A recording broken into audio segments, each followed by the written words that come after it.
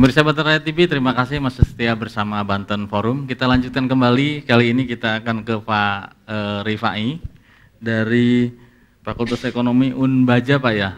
Masalah, silahkan Pak. Ya, terima kasih Bang. Jadi beberapa hal ini saya juga di samping dosen di Unbaja dan di ICMI di Departemen Kewirausahaan dan Ekonomi Umat sama-sama dengan ini. Beberapa permasalahan saya kira dengan tingginya angka pengangguran di Banten ini, mari kita cari solusi lah, cari solusi bagaimana ini bisa diurai, ya, bisa diurai, kemudian uh, bisa kita tangani sehingga angkatan ini tadi yang begitu tinggi tiap tahun uh, pertumbuhannya, tapi kita kadang-kadang hanya jadi wacana. Nah, bagaimana eh, solusi-solusi uh, ini? Dan kami di IPMI juga sedang uh, mencoba dan termasuk di uh, perguruan tinggi supaya generasi muda ini Pak yang pada produktif ini ketika mereka mungkin di masih di kuliah atau di SMA itu belajarlah Pak. Jadi belajar berwirausaha. Jadi mereka kita kita didik, kita ini kan, diedukasikan supaya mau Pak. Bagaimana uh, mereka ini mempunyai percaya diri, kemudian kalau ini tidak selalu malu untuk untuk berwirausaha, Pak. Kadang-kadang kan malu ini kan jadi jadi problem juga. Kemudian tidak menjadi anak mama atau anak papa, bentar-bentar minta duit, bentar-bentar minta uang ini gitu. Nah kalau ini sudah dilatih, insya Allah Pak, intinya yang kita harapkan adalah ketika mereka belum mendapatkan pekerjaan tetap, itu sudah berlatih Pak. Berwirausaha. Syukur-syukur wirausaha ini terus berlanjut. Kalau memang nanti dapat uh, pekerjaan tetap, wirausahanya juga masih bisa dilanjutkan.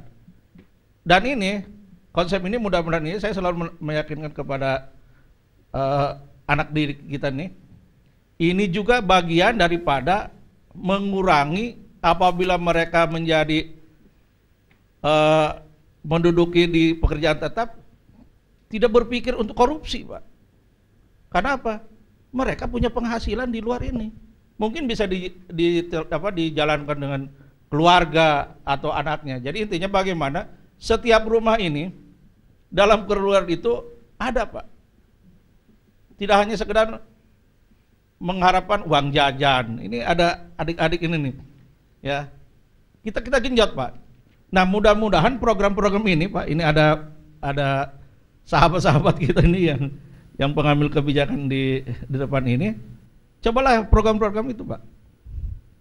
Walaupun dilatih hanya satu minggu ya dagang apa aja gitu pak. Dan itu saya pengalaman pak. Jadi bagaimana ketika saya lulus ini tidak merasa nganggur apa aja dagang pak sebulan kemudian berganti lagi dan ini yang harus kita tularkan kepada uh, generasi ini supaya tidak hanya menjadi generasi ketika ini Pak minta duit, Pak minta duit, tapi yuk berusaha. Apa aja yang penting baik, halal dan ini tadi itu mental mental entrepreneurnya itu akan terlatih. Saya kira beberapa hal ini dan mudah-mudahan ini uh, menjadi program lah Pak. Ini dari ada ini. Kemudian hal lain juga tadi disampaikan juga yang harus kita uraikan adalah pengangguran ini apa benar pengangguran yang memang benar-benar nganggur, hmm. memang ada usaha lain, atau memang ada hal lain. Yang ini yang yang harus kita harus kita uraikan nanti dunia perguruan tinggi, kemudian pemerintah daerah, pemerintah pusat termasuk uh, dari ITMI dan ini diuraikan dulu pak. Jadi jangan sampai apa memponis pengangguran tertinggi aja tapi tidak diuraikan. Apakah memang mereka punya usaha rumahan? Pertanyaannya, apakah orang yang bekerja tiga bulan atau berusaha apa disebut masih disebut pengangguran? Kan gitu. Atau memang hanya bekerja ini, tapi tiap hari ada penghasilan, Pak. Tiap hari ada penghasilan. Nah, apakah ini masih disebut uh, pengangguran? Saya kira beberapa hal ini menarik, Pak, untuk untuk dijadikan analisa, kajian atau uh, pertimbangan bagi kita semua. Yuk mari bagaimana pengangguran ini tidak hanya dijadikan uh, mengerikan gitu Pak. tapi solusinya yang harus kita uraikan. Terima kasih Pak. Ya, makasih Pak Rifai. Uh, di sini kita juga ada teman-teman dari aktivis uh, mahasiswa. Kita juga ingin dengar barangkali yang lulusan SMA yang disampaikan tadi Pak Rifai ada juga yang sambil usaha, mungkin temennya atau tetangganya, atau juga ada yang uh, apa namanya, yang teman-teman mahasiswa juga yang tadi disarankan untuk berwirausaha. Tapi tentu seorang apa namanya teman-teman aktivis mahasiswa biasanya banyak sekali yang dilihat. Dan persoalan pengangguran mungkin juga uh, apa namanya uh, menjadi uh, apa namanya hal yang menakutkan juga. Karena mereka ini calon generasi yang akan ikut bersama rombongan yang uh, 150 tapi tapi sekarang jumlahnya berapa persen pak kalau yang itu dari BPS itu cukup lumayan juga uh, dari lulusan perguruan tinggi yang masuk dalam angka uh, pengangguran terbuka di sini ada Mas Agung Prayogo ya Iya benar ya dari KMS Eh, uh, 30. Silakan Mas. Ya, menurut saya tadi kan dijelaskan udah uh, dari Bapak Ya, Bapak dosen tadi kan uh,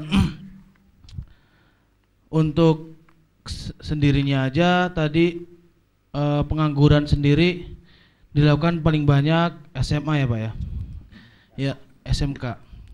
Jadi menurut saya uh, eh, SMK itu bahkan pala lebih kecil pak soalnya di SMK sendiri saya juga alumni SMK pak uh, dulu di SMK saya sendiri dulu diberikan motivasi-motivasi apalagi khusus untuk bekerja sendirinya di mana gitu pak apalagi dari perusahaan biasanya juga uh, larinya langsung ke SMK pak bukan di SMA sendiri gitu ya cukup sekian itu aja ya terima kasih Uh, saat ini kita sedang mencoba hubungin Pak Agus lagi, biar jelas Pak. Pengangguran yang dirilis BPS itu apa kriterianya? Apakah misalnya menurut BPS yang betul-betul tidak bekerja, atau misalnya yang bekerjanya uh, sesekali, kadang mungkin dua minggu punya penghasilan, uh, tapi selanjutnya tidak ada, apakah juga termasuk itu uh, pengangguran? Sudah tercambung belum Pak Agus? Halo? Halo? Oh ya belum. Uh, sambil menunggu kita tersambung ke kembali ke Pak Agus uh, Subeno, Kepala BPS Banten. Uh, saya ingin kembali lagi ke Pak uh, Hamidi. Tadi luar biasa sangat banyak, termasuk kebijakan anggaran. Pak sebenarnya kita pengen tahu juga. Tadi Pak Pitron tidak sempat menyampaikan anggaran lain di EPD lain uh, beliau sampaikan begitu besar tapi tidak berimpact pada mengurangi angka pengangguran. Ternyata yang nggak meet itu bukan hanya apa namanya SMK dengan uh, lapangan kerja yang ada di industri. Tapi terlepas dari itu kita ingin tahu juga di Disnaker sendiri Pak dari 11 triliun uh, ini Disnaker hilirnya luar biasa uh, besar tugasnya. Apakah itu juga sejalan dengan kebijakan anggaran dari pemerintah uh, provinsi? Terima kasih Pak. Uh, untuk anggaran kita di tahun 2018 ini itu sekitar uh, 35 miliar Pak. Jadi artinya kita membiayai dalam rangka untuk peningkatan kompetensi, pembinaan tenaga kerja dan hubungan industrial juga sistem penempatan tenaga kerja. Sehingga sebagian besar anggaran kita itu terpusat kepada pelatihan di mana kita mempunyai balai latihan kerja yang memang untuk meningkatkan sumber daya manusia dalam rangka penempatan tenaga kerja itu sendiri. Jadi sehingga kita terfokus dalam rangka untuk e, meningkatkan kompetensi dan daya saing tenaga kerja itu sendiri. Nah kita mempunyai BLK, memang artinya sebagian anggaran itu sudah dialokasikan anggaran untuk e, peningkatan kompetensi tenaga kerja. Separuhnya juga di eh, dalam rangka pembinaan tenaga kerja. Tadi Pak Asep sudah menyampaikan bahwa dalam rangka tugas pokok fungsi tenaga kerja itu sendiri bukan hanya bicara masalah penempatan tenaga kerja, tapi bagaimana perusahaan yang sudah berdiri di Banten ini jangan sampai tutup, jangan sampai mem-PHK dan jangan sampai berpindah dari perusahaan Banten. Itulah tugas kita juga Pak terkait dengan itu sehingga tercipta hubungan industrial yang harmonis, dinamis, berkeadilan, bermartabat, tanpa diskriminasi di Banten itu diharapkan dari sektor tenaga kerja ini juga dapat menjadi magnet untuk menarik investasi di Banten. Nah, sehingga tugas pokok itulah yang kita jalankan saat ini. Nah, tadi kalau kita melihat bahwa politik anggaran seperti itu yang kita lakukan bahwa kita menerima anggaran sebesar itu kita pergunakan dalam rangka melaksanakan tugas tugas pokok fungsi kita. Nah, dari tugas pokok fungsi kita ini kita melihat bahwa saat ini posisinya banyak perusahaan yang buka ketimbang yang tutup di Pos Banten. Nah, ini juga artinya merupakan salah satu keberhasilan kita dalam rangka melakukan pembinaan terhadap perusahaan-perusahaan pengusaha yang ada di wilayah Banten. Sehingga mereka betah di Banten dalam rangka tadi kondusif dunia ketenaga kerjaan seperti itu. Sehingga investasi masuk di Banten dan harapannya kita dapat mengurangi angka pengangguran. Karena pada gilirannya nanti Pak angka pengangguran itu dapat terserap bila mana ada peningkatan ekonomi bila mana ekonomi meningkat satu persen saja di Banten contoh saat ini kita ekonomi kita bergerak dari 5,84 persen menjadi misalkan 6,8 persen itu dapat menyerap angkatan kerja sebanyak 100 sampai 200 ribu. Oleh karena itu kita bertahan tetap artinya investasi merupakan salah satu alternatif dalam rangka untuk mengurangi pengangguran di samping program-program yang lain. Mungkin seperti itu, Pak. Terima kasih, Pak. Ya, kalau yang tadi Pak mungkin tadi sempat saya sampaikan ke Pak Asep, sempat saya tanyakan ke Pak Asep. Pengangguran ini justru yang paling banyak di kabupaten kota yang memang di situ paling banyak industrinya. Ya, saya kalau dari data yang dirilis dari BPS itu, angka pengangguran tertinggi di Kabupaten Serang, seperti itu Pak. Memang kalau kita melihat bahwa jumlah perusahaan yang berada di kabupaten kota itu ya cenderung juga angka pengangguran juga meningkat seperti itu. Sehingga ini memang ya kalau kita melihat dari di Senaker bahwa ini memang harus ada solusi terhadap calon tenaga kerja yang berada di sekitar wilayah kabupaten kota yang banyak industrinya. Maka tadi sudah disampaikan bahwa solusinya adalah kita harus melakukan pendekatan terhadap perusahaan sehingga calon tenaga kerja memang dari Provinsi Banten ini dapat terserap di wilayah kerjanya di kabupaten kota yang saat ini angka penganggurannya uh, menjadi tinggi seperti itu. Terima kasih. Kalau dari provinsi, Bapak kan dari Dinas Tenaga Kerja Provinsi Banten. Bagaimana uh, koordinasi dengan uh, kabupaten kota? apakah misalnya selama ini jangan-jangan jalan sendiri-sendiri juga ini mungkin Kabupaten Serang yang tadi juga dia sadar betul tingkat penganggurannya tinggi di wilayah itu dia melakukan hal sendiri tentu dengan anggaran yang sebisa-bisanya di ya. uh, kabupaten uh, dan kota tersebut. Apa selama ini yang uh, pernah dilakukan untuk mengatasi persoalan-persoalan pengangguran yang ada di wilayah-wilayah tadi? Kalau kita jalurnya itu artinya ke dinas tenaga kerja kabupaten kota pak. Kita ada program itu harmonisasi program kegiatan antara dinas tenaga kerja provinsi dan kabupaten kota. Itu sudah kita lakukan pak kita menarget angka pengangguran itu penyerapan per tahun. Misalkan contoh kabupaten Serang berapa dapat menyerap angkatan kerja per tahun? Kita target misalkan 5000 kota Tangerang 5000 nah ini kita target pak. Nah ini yang kita lakukan dalam rangka kerjasama. Isu-isu strategis yang muncul di permukaan ini kita lakukan kerjasama lintas sektor lintas kabupaten kota. Sehingga kita menargetkan berapa penyerapan angkatan kerja itu per tahun. Jadi sudah bisa dihitung pak satu tahun itu kita minimal menyerap angkatan kerja sekitar 40 ribu orang dari dinas tenaga kerja eh, provinsi dan kabupaten kota sehingga ini diharapkan dari disnaker juga Artinya dapat menyerap angkatan kerja itu dari sektor formal itu sekitar 30 sampai 40 ribu per tahun. Nah itu sudah kita target dan kita kerjasamakan dengan Dinas Tenaga Kerja sempat di samping program-program kegiatan-kegiatan lain dari lintas kabupaten kota. Izin bang. Ya silakan Pak. Uh, terima kasih nih Pak. Ini menarik, menarik ini. Ini karena kita harus memberikan motivasi juga ini kepada mahasiswa. Saya yang paling miris ini selalu ada bahasa masalah skill, Pak.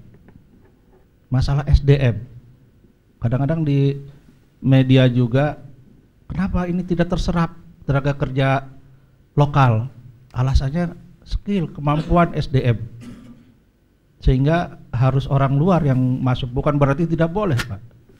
Pertanyaannya apa betul ini karena masalah SDM sehingga meragukan eh, ya anak-anak kita saudara-saudara kita yang lulusan SMK yang lulusan perguruan tinggi.